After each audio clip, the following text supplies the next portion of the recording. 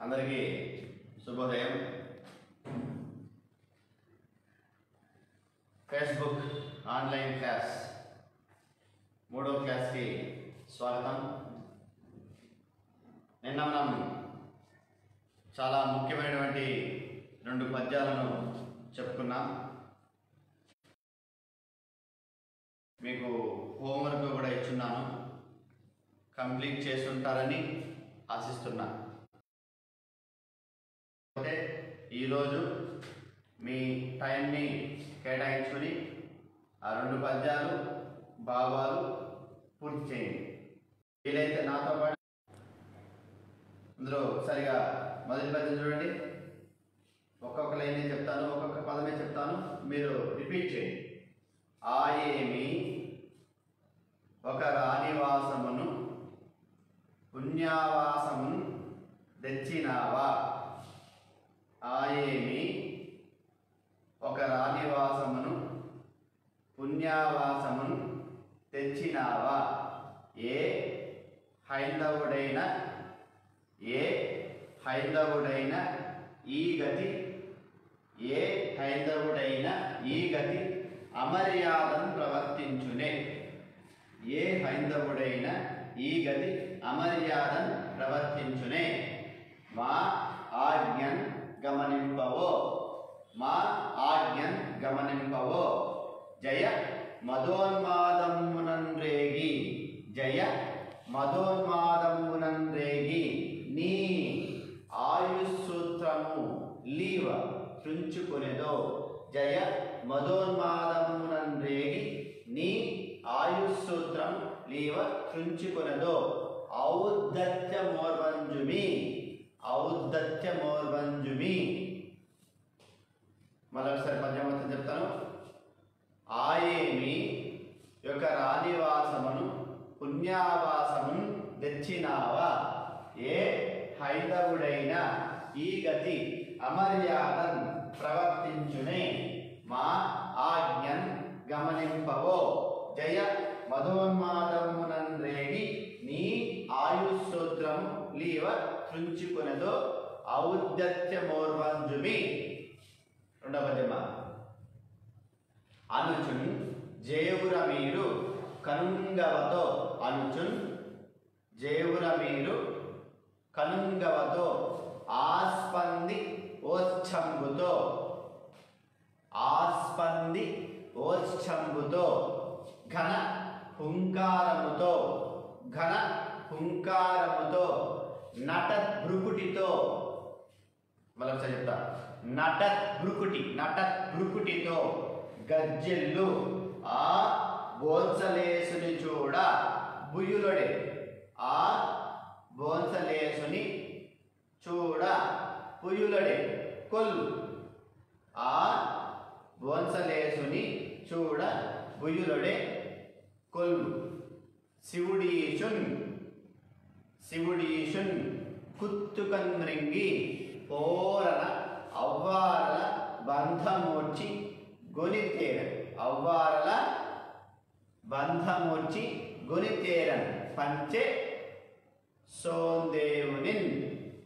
పంచె సోందేవునిన్. ఓకే? అనుచున్ జేవురమీరు కనుంగవతో ఆస్పంది ఓష్టంబుతో ఘన హుంకారముతో నట భృకుటితో గజ్జిల్లు ఆ బోన్సలేసిని చూడన్ బుయులుడే కొల్వు శివుడీసున్ కుత్తుకన్ మృంగి పోరన అవ్వాల బంధమూర్చి గుణితేరన్ మంచె సోందేవుని ఓకేనా? మూడు పద్యం పదమా? రైట్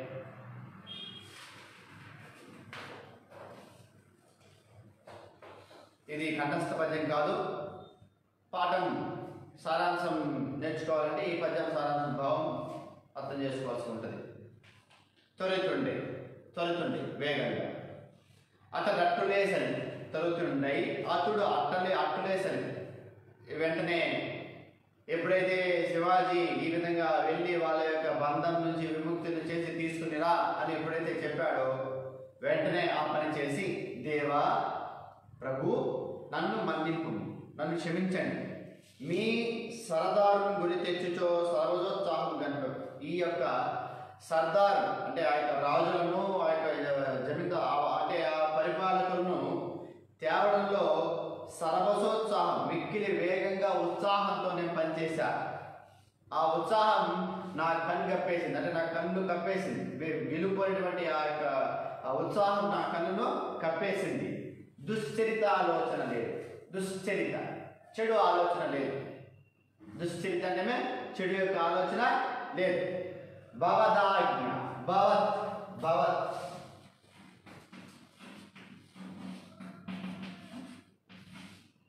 మీ యొక్క మీ యొక్క ఆజ్ఞ ఆజ్ఞ అంటే ఆన భవదాజ్ఞ ఉల్లంఘన. అంటే మీ యొక్క ఆజ్ఞను తిరస్కరించాలని మీరాలని అనే లేదు. భవదాజ్ఞ ఉల్లంఘనోద్ధృత్తి భవదాజ్ఞ ఉల్లంఘన. ఉల్లంఘన అంటే మీరడం ఉధృతి ఆ యొక్క ఆలోచన నాకు లేదు. మీ చరణ ద్వంద్వంబుల మీ యొక్క చరణం చరణము.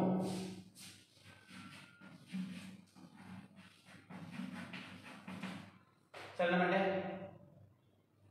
పాదం.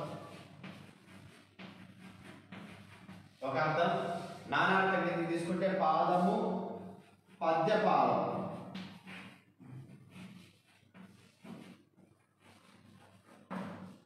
పద్యంలో ఉన్నటువంటి ఒక్కొక్క లైన్ని పా చరణము అంటాం. అలాగే మన యొక్క చరణము. చరణ ద్వంద్వం ద్వంద్వము అంటే రెండు. మీ యొక్క రెండు కాళ్ళు అంటే మీ యొక్క పాదాలపైన ఒట్టి పెట్టి చెప్తున్నాను.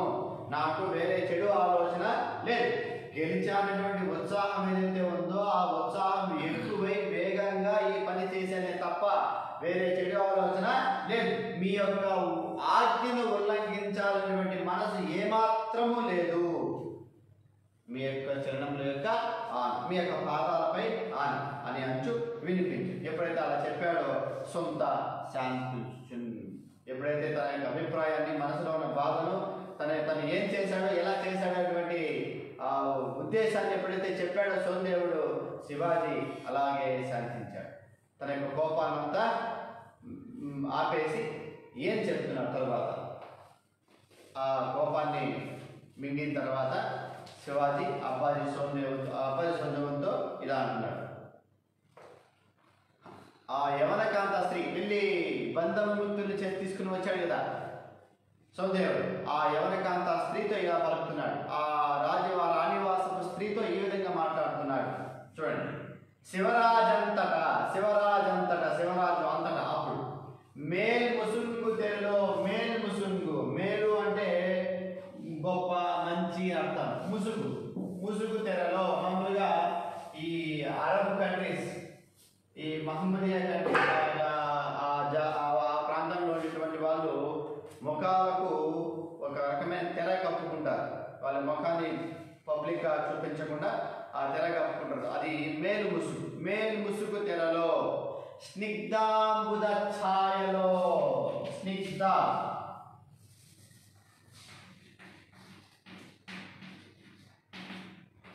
దట్టమైన స్నిగ్ధ అంటే దట్టమైన అంబుద.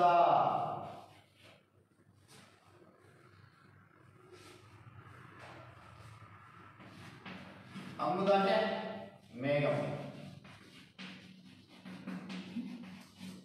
ఆ శివరాజు అంతటా మేల్ ముసుగు తెరలో అంటే ఆ మేలైనటువంటి ముసుగు తెరలో ఉన్నటువంటి ఆ దట్టమైన మేఘపు నీడలో చిహ్నాంబుద ఛాయ ఛాయ అంటే నీడ. ఛాయ అంటే నీడ. ఇంకో అర్థం సూర్యుని భార్య సూర్యుని యొక్క భార్య ఛాయ నీడ దట్టమైన మేఘము నీడలో ఆ మేలు ముసుగు ఎలా ఉంది అంటే దట్టమైన మేఘం వలె ఉంది ఆ నీడలో ఏముంటుంది మామూలుగా మేఘాలు వర్షిస్తున్నప్పుడు తెల్లగా ఒకటి కనిపిస్తుంది ఏమని మెరుపు నవ సౌధామి నవ కొత్త సౌధామి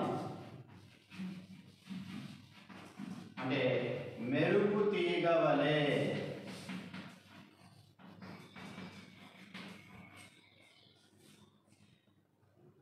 దట్టమైన మేఘపు నీడలో ఉన్నటువంటి కొత్తదైన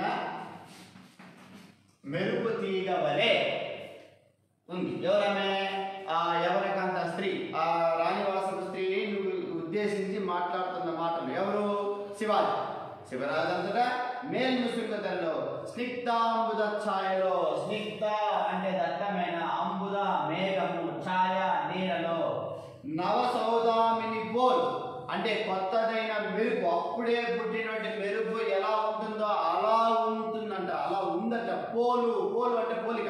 కంపేర్ పోలు ఆ యవనకాంతారత్నం. యవనకాంత రత్నం ఆ యవనులు అంటే మామూలుగా ఈ గ్రీకు దేశాల్లో అరబ్ కంట్రీస్ ఈ మహమ్మదీయ దేశాల్లో ఉన్నటువంటి వాళ్ళను యవనులు యవనులు అంటారు. ఆ జాతికి సంబంధించిన వాళ్ళు. అలా ఆ యవనకాంత రత్నం అంటే యవనుల్లో రత్నము వంటిది. గొప్ప స్త్రీ అని అర్థం. యవనకాంత రత్నం భక్తి గౌరవములు వారగా చూచి పలు భక్తి గౌరవం రెండు కలిపి ఆమెను చూసి ఇలా పలుకుతున్నాడు. ఏం పలుకుతున్నాడు? వనితా రత్నంబులు వనితారత్నం అంటే? వనిత అంటే? స్త్రీ. రత్నం అంటే? గొప్ప. గొప్ప అంటే వనితా రత్నంబులు అంటే స్త్రీలలో గొప్ప గొప్పైనటువంటి వాళ్ళు మీ వంటి వాళ్ళు ఈ భవ్య హైందవ భూజంగమ పుణ్య దేవతలు భవ్య గొప్ప పవిత్రమైనటువంటి హైందవ ఈ హిందూ భూజంగమ భూజంగమ జంగమ అంటే జంగమ దేవరు అని పదాన్ని సంచరించే. జంగమ అంటేనే సంచరించే. ఈ గొప్పదే వనితారత్నములు స్త్రీలు ఈ భవ్య హైందవ పవిత్రమైనటువంటి హిందూ భూమి యందు జంగమ సంచరించేటువంటి పుణ్యదేవతలు. అమ్మా యవనకాంతారత్నమ్మ మీరు మీలాంటి స్త్రీలు ఈ హైందవ భూమి యందు తిరిగేటువంటి సంచరించేటువంటి పుణ్యదేవతలు మీరు. మాత తప్పు సైరంభూమి మాత మాత అంటేనే అమ్మా. మాత అంటేనే అమ్మా.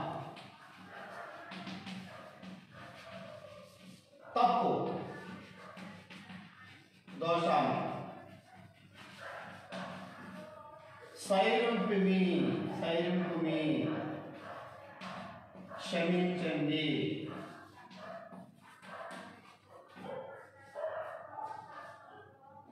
జాగ్రత్తగా మనసు పెట్టి వినాలి. మనసు పెట్టి వింటే చాలా చాలా సులభంగా అర్థమవుతుంది పదాలు కొన్ని కొన్ని కఠినంగా ఉంటాయి వాటిని జాగ్రత్తగా మళ్ళీ మళ్ళీ చెప్తాను మళ్ళీ మళ్ళీ చెప్తాను గుర్తు పెట్టుకోవడానికి ప్రయత్నం చేయండి అర్థమవుతుందా మళ్ళీ ఒకసారి పద్యం చెప్తాను పద్యం చెప్తూ ఉండగా మీకు భావం అర్థాలు రావాలి పదాలు శివరాజు అంతటా మేల్ ముసుంగు తెరలో మేల్ ముసుంగు తెరలో అంటే శ్రేష్టమైన లేదా అందమైన శ్రేష్టమైన లేదా అంద మేలు శ్రేష్టమైన. ముసుంగు తెరలో ముసుగు తెరలో మేల్ ముసుంగు తెరలో. ఎలా ఉంది? స్నిగ్ధామృత ఛాయలో స్నిగ్ధ అంటే దట్టమైన. స్నిగ్ధ అంటే దట్టమైన. అంబుద మేఘము ఛాయ నీడలో స్నిగ్ధాంబుద ఛాయలో నవ సౌదామిని పోల్ అంటే కొత్తదైన మెరుపు తీగ వలె ఉన్నటువంటి ఆ యవనకాంత రత్నం ఆ యవన దేశానికి సంబంధించినటువంటి ఆ యొక్క స్త్రీమూర్తిని భక్తి గౌరవములు వారగ చూసి పలికే భక్తితో గౌరవంతో ఆమెను చూస్తూ వినయంగా చూస్తూ విధేయతతో చూస్తూ మనం మొట్టమొదటి పాఠంలో చెప్పిన ఆ ఒక రాజ్యానికి అధినేతమైన శివాజీ స్త్రీల పట్ల ఎంత వినయంగా ఎంత విధేయంగా ఉంటాడో ఈ పాఠం మనకు ఒక ఆదర్శవంతంగా నిలుస్తుంది అనే మాట నేను చెప్పాను. మీకు గుర్తుందో లేదో? సో ఇక్కడ చూస్తే మనకు అర్థమవుతుంది. ఒక ఒక ప్రాంతానికి రాణివాసపు స్త్రీగా ఉన్నటువంటి స్త్రీని ఎంత గౌరవంగా మాట్లాడుతున్నాడు అమ్మా తప్పు సైరంపమి మేము చేసినటువంటి తప్పులు క్షమించండి తల్లి అని వేడుకుంటున్నాడు శివాజీ. అర్థమవుతుందా?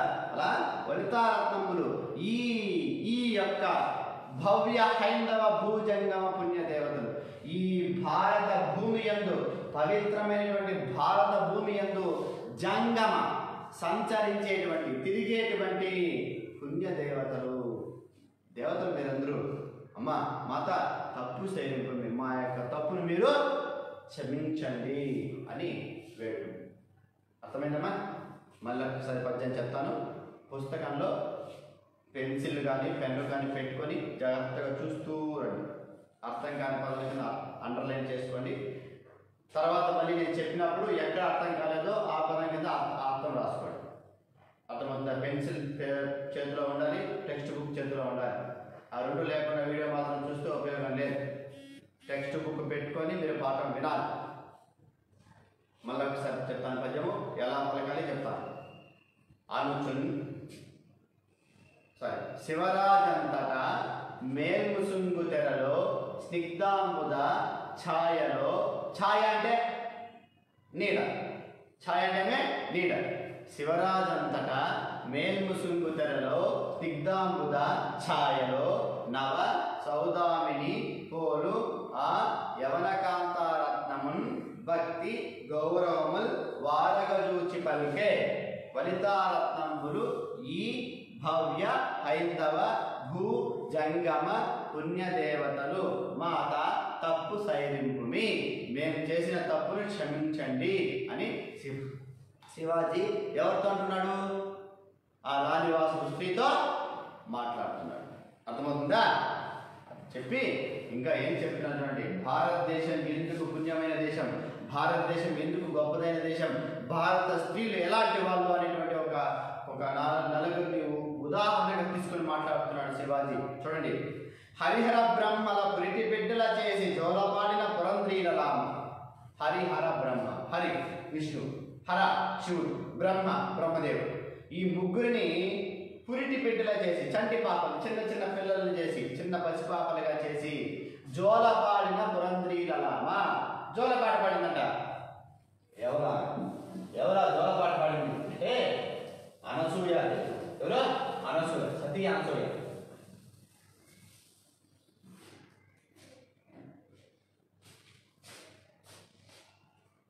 పురంధ్రి అనే పదం వస్తున్నారు పురంధ్రి అంటే ఉత్పత్తత్వం గృహమును ధరించునది ఉత్పత్తత్వం గుర్తుపెట్టుకోండి పురంధ్రి పురము అంటే నానార్థం చూసుకోవాలి ఫస్ట్ మనం పురం పట్టణం పురపాలక సంఘం పురపాలక సంఘం చూస్తూ ఉంటాం పురపాలక నగరపాలక అని. పురం అంటే ఏమి పట్టణం ఒక ఊరు అలా పట్టణం ఇంకొక అర్థం వచ్చి గృహం ఇంటికి దీపం ఇల్లాలు అనే కొటేషన్ చదువుకుంటాం ఇంటికి దీపం ఇల్లాలు అలా గృహాన్ని అందంగా తీర్చిదిద్దేది ఎవరు ఇల్లా ఇక్కడ పురంధ్రి అనే మాటకి ఉత్పత్తి గృహమును ధరించి ఉన్నది గృహాన్ని ధరించున్నది పురంధ్రి లలామ స్త్రీలలో శాస్త్రి అని చెప్పచ్చు. ఇలా ఏం చెప్పి ఇక్కడ? పురిటి బిడ్డలను హరిహర బ్రాహ్మణులు పురిటి బిడ్డల చేసి. అంటే అనసూయాదేవి యొక్క పాతివ్రత్యాన్ని ఆమె యొక్క శక్తి సామర్థ్యాలను పరీక్షించాలని బ్రహ్మ విష్ణు మహేశ్వరుడు త్రిమూర్తులు అంటారు వాళ్ళు. వీరు ముగ్గురు ఆమె పరీక్షించాలని ఆమె దగ్గరికి వెళ్తారు. మాకు భోజనం పెట్టించాలి అని చెప్తారు. మా కడుపు నిండా ఆహారం పెట్టాలి. పెడతాను. అలాగే పెడతానని చెప్పింది ఆమె. కానీ ఇలా కాదు. వివస్త్రయై అంటే మీ శరీరం పైన నూలు పోగు వస్త్రం లేకుండా మాకు మా కడుపును మీరు నింపాలి అని చెప్తారు. అలాగే అలాగే అని చెప్పి తన యొక్క పార్థివ్రత శక్తి చేత ఆ బ్రహ్మ విష్ణు మహేశ్వరులను చంటి బిడ్డలుగా మార్చేస్తుంది. మార్చేసి వాళ్ళకి జోలపాట పాడి పాలించి పడుకోబెడుతుంది. అలానే అంటే వాళ్ళ ఇంకా మామూలు స్థితికి రాదు.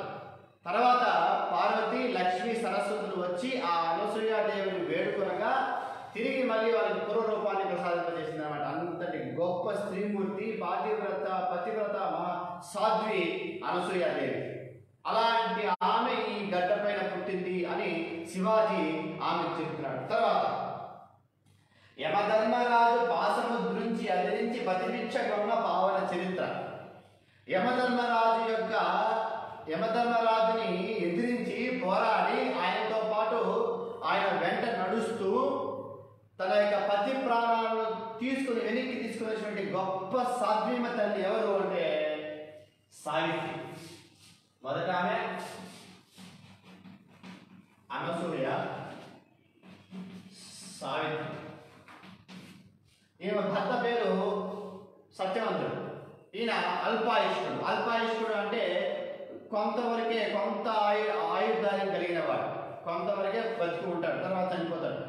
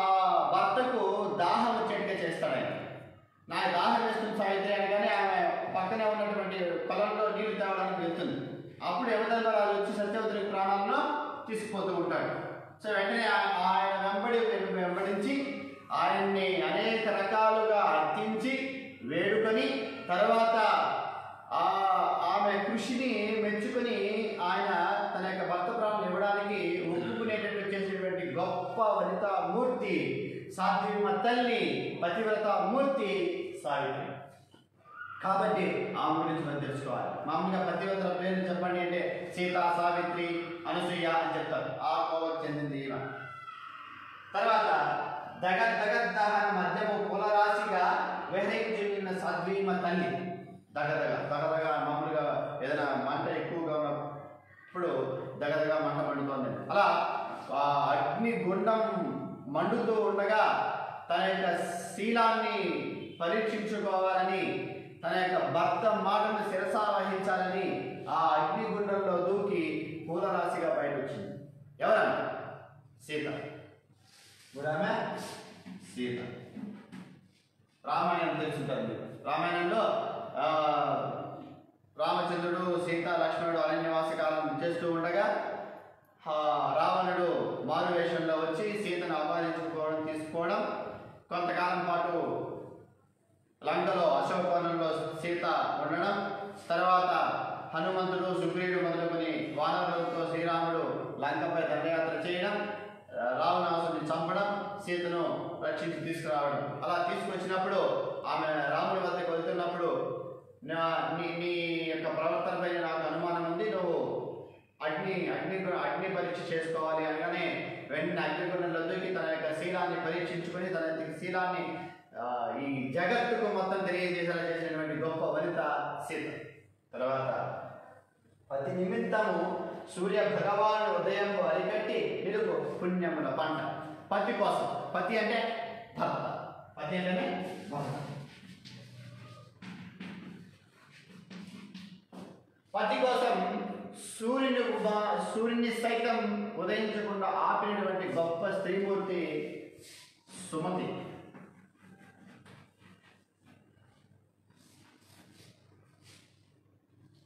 సుమతి యొక్క భర్త పేరు కౌశికుడు. కౌశికుడికి కుష్టి వ్యాధి కుష్టి వ్యాధి అంటే మామూలుగా ఈ లెప్రసీ అంటాం మనం మామూలు మన ఈ కరకంబాడ్ రోడ్లో కూడా ఒక లెప్రసీ హాస్పిటల్ కూడా మీరు గమనించుంటే తెలుసుంటారు. లెప్రసీ అంటే కాళ్ళు వేళ్ళు చేతులు అన్ని ఆ, పురుగు తినేస్తూ ఉంటుందన్నమాట. దాన్ని కుష్టి వ్యాధి అంటారు. ఆ కుష్టి వ్యాధితో బాధపడుతూ ఉంటే అతన్ని ఆమె బుట్టలో పెట్టుకొని తలపై పెట్టుకొని తిరుగుతూ ఉంటుందన్నమాట. పోతూ ఉంటుంది. అలా తీర్థయాత్రగా అలా పోతూ ఉంటారు. అనుకోకుండా ఒకసారి వెళ్తూ ఉండగా మాండవ్యుడు అనేటువంటి ముని యొక్క తలకు కౌశిని యొక్క పాదాలు తగులుతాయి పొరపాటు మామూలుగా ఋషులకి ఏదైనా కోపం వస్తే వెంటనే ఏం చేస్తారు? ఋషులకి మునులకి కోపం వస్తే ఏం చేస్తాం శపిస్తారు. కమండలంలో నీటిని తీసుకునేసి ఇన్ని సంవత్సరాలు మీద అయిపోగాక అని శపిస్తారు.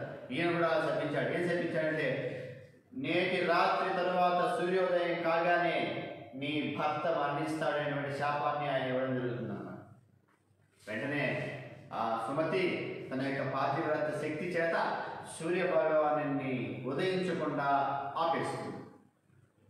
తర్వాత లోకాలన్నీ అల్లకల్లోలం అయిపోతూ ఉంటే దేవతలందరూ వచ్చి ఆమె అర్థించి సూర్యుని ఉదయించేటట్టు చేయమని ప్రార్థిస్తారు. దేవతల యొక్క వినతి ప్రకారం ఆమె సూర్యుని ఉదయించేటట్టు చేస్తుంది. ఆటోమేటిక్గా సూర్యుడు ఉదయించగానే ఆ ముని యొక్క శాపములోకి తిరిగి ఉండదన్నమాట భర్త మరణిస్తాడు తర్వాత అనసూయాదేవి వచ్చి కౌశికుణ్ణి బతికిస్తుంది. ఇది సారాంశం. ఇక్కడ నలుగురు యొక్క పతివ్రత మహాశాస్త్రం పేరు చెప్పారు ఆయన. అనసూయ సావిత్రి సీత సుమతి. వీళ్ళు నలుగురు అట్టి ఎందరో అటువంటి ఎందరో భారతాంబ ఆడుబిడ్డలు. ఈ యొక్క భారత గడ్డ పైన పుట్టినటువంటి ఆడుబిడ్డలు విమల పతిదేవతాత్మ భాగ్యములు వసి పతిదేవతాత్మ భాగ్యములు వసి అంటే పతి సేవలు చేసి పతివ్రతలు అనిపించుకున్నటువంటి పతివ్రత. పతివ్రత అంటే?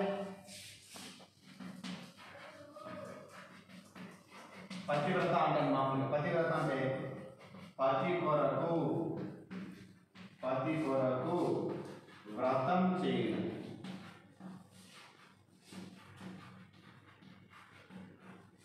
పతి కొరకు వ్రతం చేయనది పతివ్రత. లా పతిదేవతాత్మ భాగ్యములు వచ్చి పుట్టినను మెట్టినను పెంచు పుణ్య సతులు కాదు భారతావని భాగ్య కల్పలతలు భాగ్య కల్పలతలు. కల్పలత అంటే కోరిన కోరికలు తీర్చేటువంటి చెట్టుని కల్పవృక్షం అంటాం అలా ఈ భారతావని భాగ్యం భారతావని యొక్క ఉన్నతికి అభివృద్ధికి దోహదపడుతున్నటువంటి పుణ్య దేవతలు శ్రీమూర్తులు ఎందరో ఉన్నారు. పుట్టినిలు మెట్టినిలు. పుట్టినిలు అంటే పుట్టిన ఇల్లు మెటీరియల్ అంటే అత్తగారి ఈ రెండింటి పట్ల రెండింటికి ఉన్నత ఉన్నతమైనటువంటి గొప్ప పేరుని సంపాదించి పెట్టినటువంటి స్త్రీమూర్తులు ఎందరో ఈ భారత గడ్డ ఉన్నారు అని శివాజీ చెప్పడం జరుగుతుంది అన్నమాట తర్వాత నెక్స్ట్ పద్యం చాలా ఇంపార్టెంట్. పద్యం ప్రతిపాదం భావం జాగ్రత్తగా గమనించుకోండి. అనలజ్యోతుల అనలజ్యోతుల ఈ పతివ్రతుల బాపాచారులై రాయు. భూజనులన్ నిజ సంపదలు తొలగి ఎస్తద్వస్తులై కోరే విత్తనమే నిల్చునే మున్నిరుంగమే పులస్త్య బ్రహ్మ సంతానమోజనని హైందవ భూమి ఈ పగితి దుశ్చారిత్రము సాగునే. మరొకసారి. అనల జ్యోతుల ఈ పతివ్రతల బాపాచారులై దాయు భూజనుల నిజ సంపదలు తొలగి ఎస్తద్వస్తులై పోరే నేను చెప్తూ ఉంటే అవి చాలా సులభంగా ఉన్నాయి పదాలు. కొన్ని కొన్ని పదాలు కాస్త కంటిన్యూ ఉండొచ్చు. నేను చెప్తున్నప్పుడే అర్థం చేసుకోవడానికి ప్రయత్నం చేయండి. పద్యం చెప్పినప్పుడే.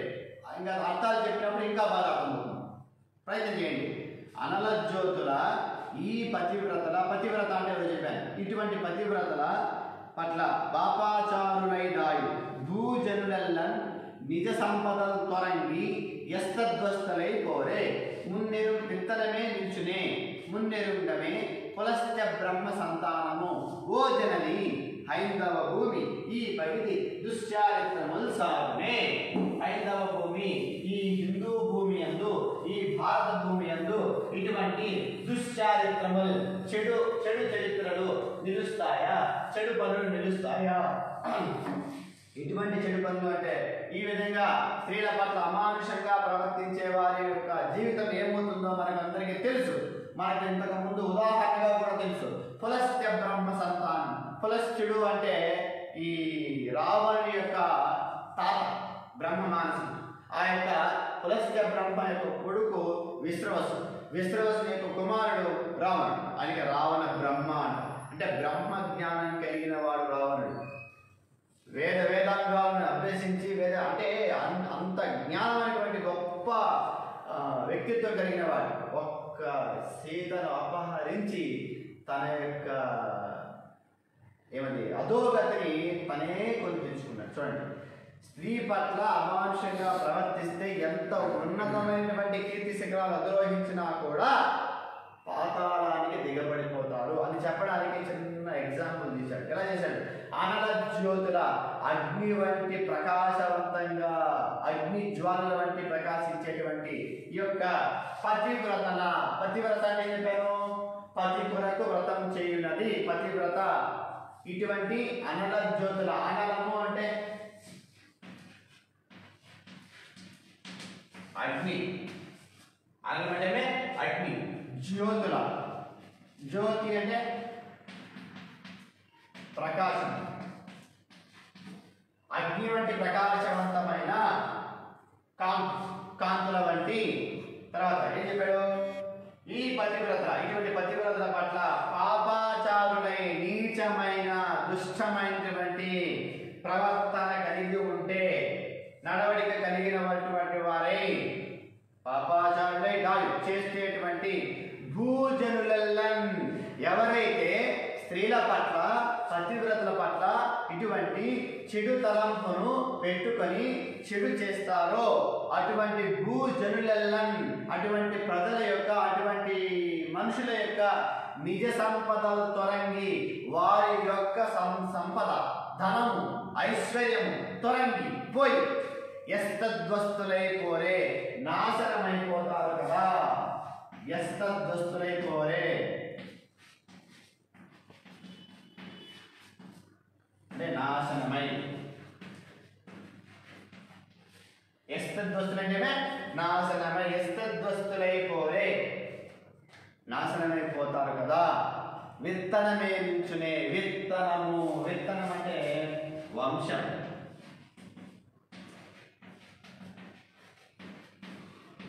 వంశం. వంశం గడవదు వంశం కొనసాగదు. ఆగిపోతుంది అక్కడితో. ఎప్పుడైతే స్త్రీల పట్ల అమానుషంగా ప్రవర్తిస్తామో అప్పుడు తన యొక్క వంశాన్ని కూడా పోగొట్టుకోవాల్సి వస్తుంది. వెత్తనమే నిల్చునే మున్నెరుంగమే ఇంతకు ముందు మనకు తెలుసు కదా మున్నెరుంగమే ముందు. ఇది ఇంతకు ముందు మనకు ఒక- స్టోరీ తెలిసింది. పులస్త్య బ్రహ్మ సంతానము ఓజనని. పులస్త్య బ్రహ్మ. పులస్త్య బ్రహ్మ అంటే ఎవరు? రామ బ్రహ్మ మానస పుత్రుడు ఆయన కొడుకు విశ్రవసుడు విశ్రవసుడు కుమారుడు రావణ బ్రహ్మ. రావణ బ్రహ్మ తర్వాత రావణ తర్వాత ఆయన వంశం విభీషణుడు తప్ప అందరూ నాశనం అయిపోయారు విభీషణుడు ఎందుకు మిగిలాడు అంటే ధర్మం పట్ల ధర్మం పట్ల ఆయన కాలు ముందుకు నడిపాడు కాబట్టి ఆయన మిగిలాడు. సీతను అపహరించడం అనేటువంటి ఒక పని ఏదైతే ఉందో అది చాలా నీచమైన పని అది ఒప్పుకోదగింది కాదు అని రావణంతో వ్యతిరేకించాడు కాబట్టి ఆయన మిగిలాడు. రావణునికి సపోర్ట్ చేసి రావణుతో ఎవరైతే నిలిచారో వాళ్ళందరూ నాశనం అయిపోయారు అంటే స్త్రీని అపహరించడం స్త్రీల పట్ల నీచంగా ప్రవర్తించడం అనేది చాలా ప్రమాదకరం. చాలా పాపాన్ని మూట కట్టుకోవాల్సి వస్తుంది అని చెప్తారు అలా జనని ఫలస్త బ్రహ్మ సంతానం భోజనని హైందవ భూమి ఈ హిందూ భూమి అందు ఇటువంటి దుశ్చ ఈ పగిది పగిది అంటే విధంగా ఈ విధంగా దుశ్చారిత్రములు చెడు పనులు సాగునే సాగుతాయా? సాగవు కదా. జరగవు. ఈ హిందూ భూమి అందు ఇటువంటి దుశ్చారిత్రములు జరగవు అని శివాజీ ఎవరితో చెప్తున్నాడు? ఆ యొక్క రాణివాసం స్త్రీతో మాట్లాడుతున్నమాట మళ్ళీ ఒకసారి చెప్తున్నామా అనల జ్యోతుల ఈ పతివ్రతల బాపాచారులై దాయు భూజనులల్లన్ నిజ సంపదలు తొరంగి ఎస్తద్వస్తులై కోరే మున్నెరుంగమే పులస్త్య బ్రహ్మ సంతాను ఓ జనని ఓ జనని హైందవ భూమి ఈ పగిది దుశ్చారిత్రములు సాగునే. మళ్ళీ ఒకసారి రిపీట్ చేయండి మీరు నేను చెప్తాను మీరు చెప్తూ ఉండండి. అనల జ్యోతుల అనల జ్యోతుల ఈ పతివ్రతల అనల జ్యోతుల ఈ పతివ్రతల పాపాచారులై అనలజ్యోతుల ఈ పతివ్రతల పాపాచారులై దాయు భూజనులల్లన్. అంటే పాపాచారులై దాయు అంటే పాపము చేయడానికి సమీపిస్తే స్త్రీల దగ్గరికి పాపం చేయాలని దగ్గరికి వెళ్తే భూజనులల్లన్ ఇటువంటి భూజనులల్లన్ నిజ సంపదల్ నిజ సంపదల్ తొరంగి తొరంగి ఎస్తద్వస్తులై పదం అండలైన్ కఠినంగా ఉంటుంది మరొకసారి. ఎస్తద్వస్తులై ఎస్తద్వస్తులై పోరే విత్తనమే నిల్చునే విత్తనమే నిల్చునే మున్నెరుంగమే. మున్నెరుంగమే పులస్త్య బ్రహ్మ పులస్త్య పులస్త్య బ్రహ్మ సంతాన ఇంతకుముందు తెలుసుగా మనకి ఏం జరిగిందో? పులస్త్య బ్రహ్మ సంతానం. ఓ జనని ఓ జనని హైందవ భూమి ఈ పగిది దుశ్చారిత్రముల్ సాగునే దుశ్చారిత్రముల్ సాగునే. పద్యాలు ఒకసారి మీరే చూడండి సైలెంట్గా చూడండి. ఓ రెండు నిమిషాలు గ్యాప్ ఇస్తాం మీకు. చూడాలి. అనల జ్యోతుల ఈ పతివ్రతల పాపాచారులై డాయు భూజనుల నిజ సంపద తొరంగి ఎస్తద్వస్తులై కోరే. తొరంగి అంటే పోయి నాశనం అంటే నిజ సంపద తొరంగి నా సంపదను పోగొట్టుకుని ఎస్తద్వస్తులై సంపద పది ఇంకేముంది? నాశనమే. నేను విత్తనమే నిల్చునే. విత్తనం అంటే మీ వంశం. వారి యొక్క వంశం. నిల్చునే నిలుస్తుందా? మున్నిరుంగమే. పులస్త్య బ్రహ్మ సంతానము ఓజనని ఐందవ భూమి ఈ పగిది దుశ్చారిత్రముల్ సాగునే.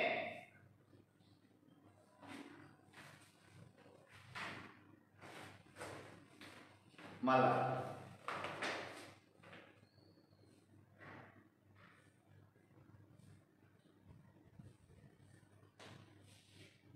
ఓకే కంటిన్యూ చూడండి నెక్స్ట్ పద్యం. ఏడో పద్యం.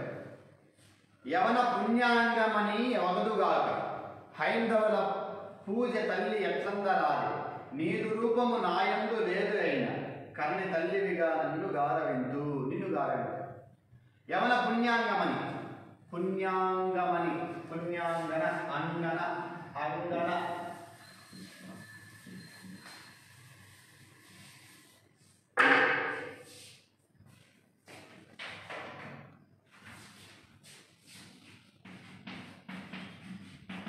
అంగన స్త్రీ అర్థం విద్వత్ అర్థం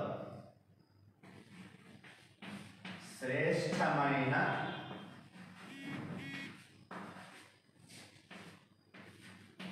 అవయవములు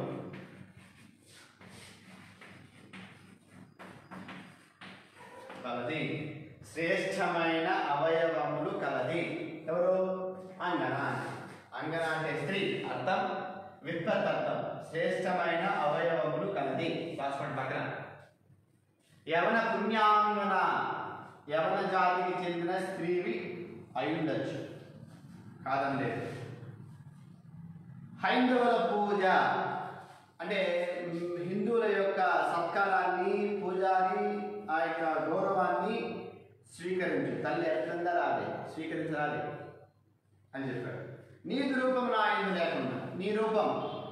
నువ్వు నన్ను కనుంటే నీ రూపం నాలో ఉంటుంది. కానీ నువ్వు నన్ను కనలేదు. అయినప్పటికీ నీ రూపం నాలో లేకపోయినప్పటికీ నన్ను కనని తల్లిగా నిన్ను తాగాలని నన్ను కనని తల్లిగా నిన్ను భావిస్తాను. ఎంత గొప్ప మాట చూడండి. శివాజీ అంతటి గొప్ప మహాప్రభువు ఈ ఒక పరాయి దేశానికి చెందినటువంటి ఒక పరాయి రాజ్యానికి చెందినటువంటి స్త్రీమూర్తితో పలగా మాటలు ఇలా ఉంటుంది ఆ మామూలుగా స్త్రీ పట్ల ఆయనకు ఉన్నటువంటి గౌరవ సూచకం ఇలా కనిపిస్తుంది. అమ్మా నువ్వు వేరే జాతికి చెందిన స్త్రీ కావచ్చు. మేము ఇచ్చేటువంటి సత్కారాన్ని మేము ఇచ్చేటువంటి ఆతిథ్యాన్ని స్వీకరించవలసిందిగా కోరుతున్నాం. నువ్వు నన్ను కనలేదు. కానప్పటికీ నువ్వు నన్ను కనకపోయినా నిన్ను తల్లిగా నేను గౌరవిస్తాను. నేను తల్లిగా నేను భావిస్తాను. అని తన యొక్క భక్తిని ఆయన చూపిస్తున్నాడు ఆ రాజనివాసం స్త్రీ పట్ల. చూపించి తర్వాత ఆ అప్పాజీ చేసిన పనిని గురించి ఎవరికంత యవనకాంత స్త్రీతో విన్నవిస్తున్నాడు ఏం చెప్తున్నాడు చూడండి. ఇంపార్టెంట్ పద్యం. చాలా ఇంపార్టెంట్. చాలాసార్లు మనకు ఎగ్జామినేషన్ కూడా చాలాసార్లు ఇచ్చినాడు ఈ పద్యం. మా సర్దారుడు తొందరపడి అసన్మార్గమునన్ మా సర్దారు తొందరను పడి అసన్మార్గమునను పోయి ఈ దోషం కని నొచ్చుకో. ఈ దోషం కని నొచ్చుకో. నిన్ను చేతులు నీ గృహం విప్పుడి. నిన్ను చేతులు నీ గృహం విప్పుడి. నా సైన్యంబును తోడుగా వలిచద నా తల్లిగా తోడుగా దోషిల్లను నడిపింది నీ కనుడు ఎంత తాన్ని సారింపుమి. నీ యొక్క కనుల్లో తాన్ని ఓర్పు సహాయం చూపించు. మా యొక్క సర్దారు మా సేనాధిపతి తొందరపడి తొందరపడి అసన్మార్గమునను పోయే. అసన్మార్గం. సన్మార్గం అంటే మంచి మార్గం. అసన్మార్గం అంటే చెడు మార్గం.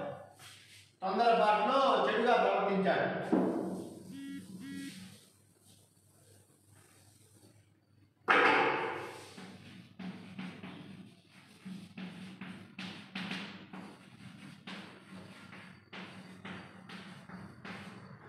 చెడు మార్గం. అంటే మా సర్దారుడు తొందరపాటులో చెడుగా ప్రవర్తించాడు. ఈ దోషమును ఈ యొక్క దోషాన్ని చూసి నొచ్చుకోకు బాధపడు ఈ దోషం పట్ల నువ్వు బాధను వ్యక్తం చేయొద్దు. నేను చేరుతున్న నీ గృహం ఇప్పుడే. నిన్ను నిన్ను ఇప్పుడే నీ యొక్క ఇంటికి పంపిస్తాను. చేరుతుంది. ఎలా చేరుస్తాను? నా సైన్యము తోడుగా పంచుదని. నా యొక్క సైన్యాన్ని నీకు తోడుగా పంపిస్తాను. నేను ఊరికి ఒంటరిగా పంపించను మేము. మీ యొక్క రాజులందరినీ అందరినీ పంపిస్తాను. మా సైన్యాన్ని తోడుగా పంపిస్తాను మీ ఇంటికి నా తల్లిగా తోడుగా. నా తల్లిగా భావిస్తా. తోడు తోడు అంటే ఇక్కడ తోడబట్టిన వాళ్ళు అంటారు. నా తోడబట్టిన వాళ్ళు అని. తోడబట్టిన వాళ్ళు అంటే ఎవరు? మన అక్క చెల్లి అన్న తమ్ముడు. ఇక్కడ తోడు అంటే ఇక్కడ చెల్లెలుగా లేదా అక్కగా? నా యొక్క సోదరిగా భావిస్తాను నేను. నా తోడుగా దోసిళ్ళని నడిపింది. దోసిలు ఏంటి? ఇలా పట్టుకుంటే దోసిలు నా యొక్క అరచేతిలో నేను నడిపిస్తాను. అని చెప్తాడు. దోసిళ్ళని నడిపింది నీ కనుల ఎందు తాల్మి సారు మీ నీ యొక్క కళ్ళలో సహనాన్ని చూపించు ప్రేమను చూపించు.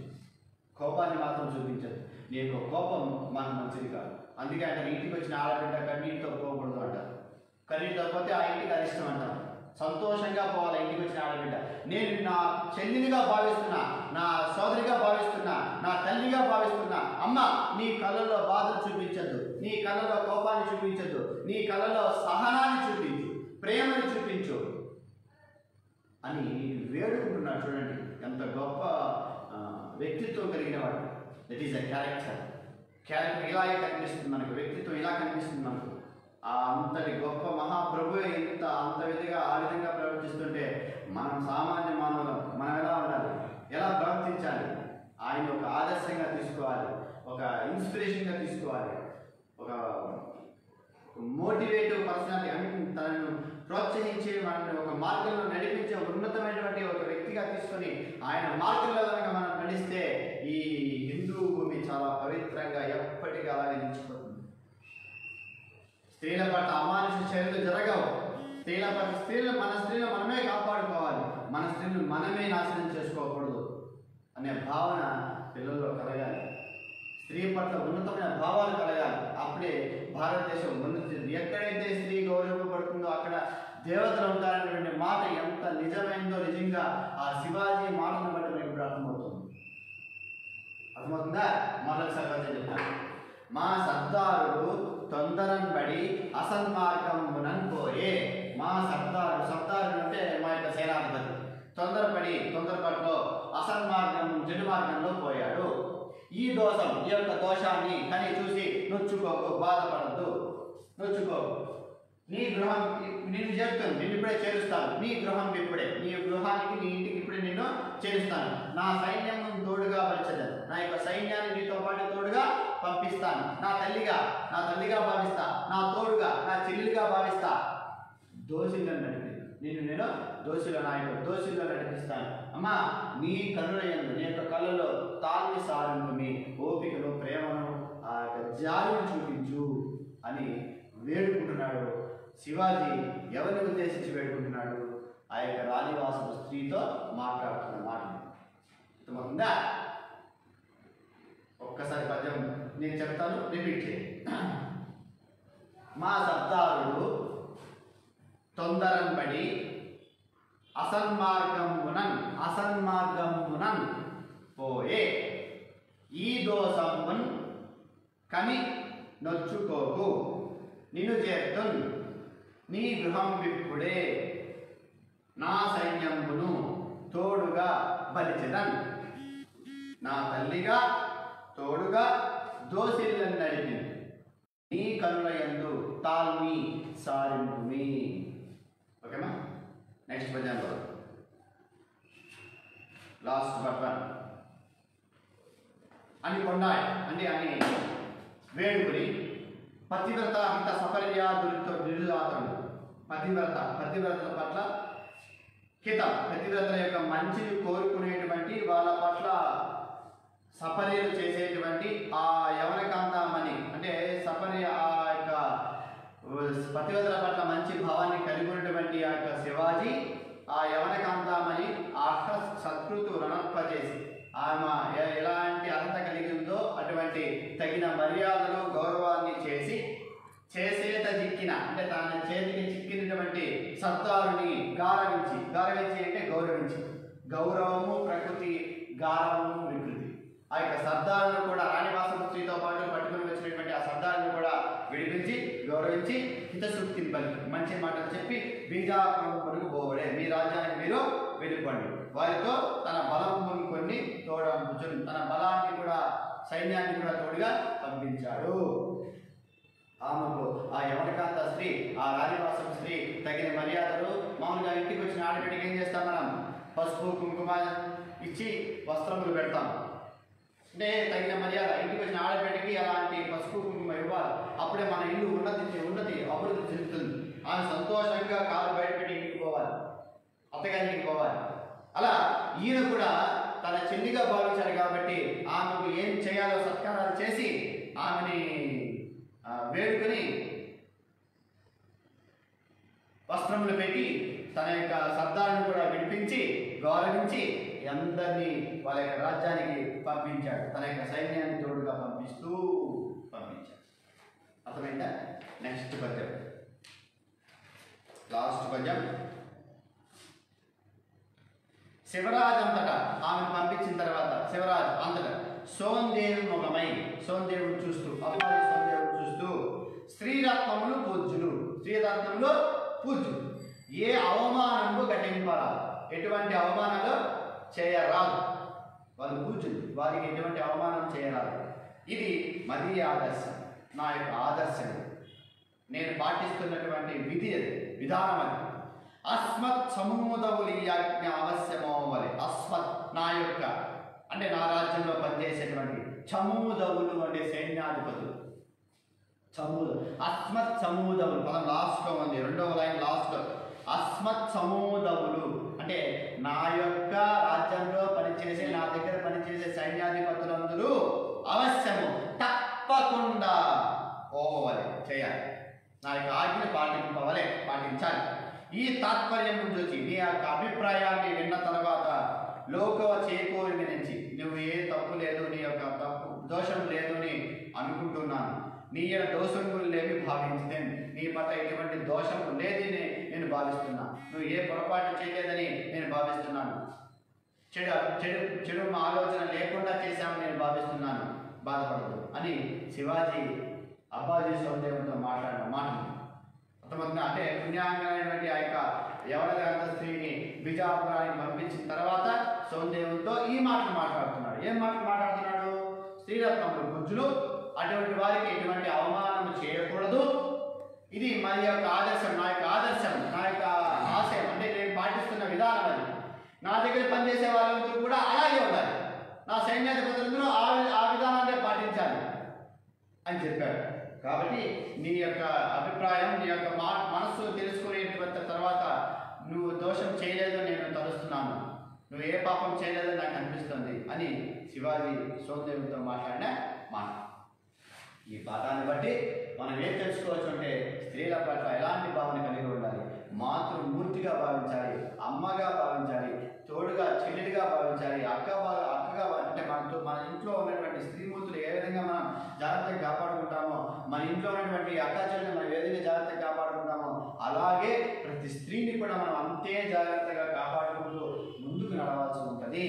అని చెప్పడం జరుగుతుంది అన్నమాట సో ఈ- ఇది మాతృభావన అనేటువంటి పాఠ్యభాగం కాకపోతే మనం ఈరోజు మనం తీసుకోవాల్సిన హోంవర్క్ నిన్నే హోంవర్క్ ఇచ్చాను.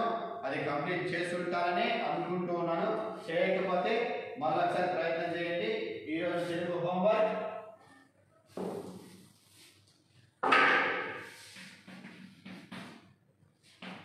lesson number one నాలుగు ఆరు. నాలుగు ఆరు. పద్యాలు భావాలు. మీకు భావాలు ఎక్కడ ఉంటాయి సార్ అని డౌట్ రావచ్చు. లెసన్ తర్వాత భావాలు వరుసగా ఇచ్చుంటాడు నెంబర్ పద్యం నెంబర్ వన్ అంటే ఒక ఒకటో భావం రెండో భావం మూడో భావం అలా ఇచ్చుంటారు. ఇక్కడ పద్యం నేర్చుకోవడం అక్కడ భావం నేర్చుకోవడం. సరిపోతుంది. సో లెసన్ నెంబర్ వన్ నాలుగు ఆరు పద్యాలు భావం. ఇది నేర్చుకోవాల్సి ఉంటుంది ఈరోజు మీరు పూర్తి చేయాల్సి ఉంటుంది అర్థం కాని పదాల కింద అండర్లైన్ చేయండి. రేపటి క్లాసులో మళ్ళీ ఒకసారి నేను మొత్తంగా చెప్పుకుంటూ వచ్చి ఎక్కడైనా కఠిన పదాలు అంటే మళ్ళీ ఒకసారి అర్థాలు చెప్తూ వస్తాను బ్రీఫ్గా మీరికి పూర్తిగా అర్థం చేసుకోవడానికి అవకాశం ఉంటుంది. అర్థమవుతుందా? సో ఇక్కడతో ఈరోజు క్లాసు ముగిస్తున్నాం. ధన్యవాదాలు.